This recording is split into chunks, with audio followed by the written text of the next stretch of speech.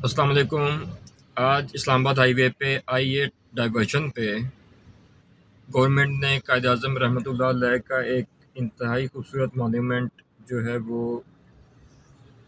बनाया है यहाँ पे। ये मोनूमेंट है और इसके साथ जो है कायद अज़म का कोड भी इन्होंने किया है। There is no power on earth that can undo Pakistan yes it is true और ये मोन्यूमेंट है बहुत खूबसूरत है इस्लामाबाद हाईवे के ऊपर आइए डाइवर्शन पे।